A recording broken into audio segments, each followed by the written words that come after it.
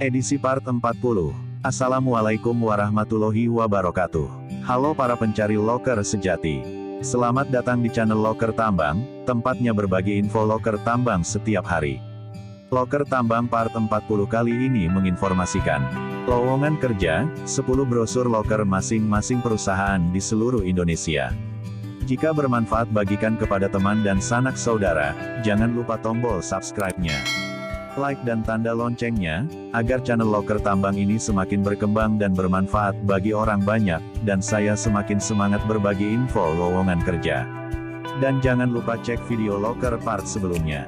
Linknya ada di deskripsi, selamat menyimak, semoga bermanfaat, dan terima kasih.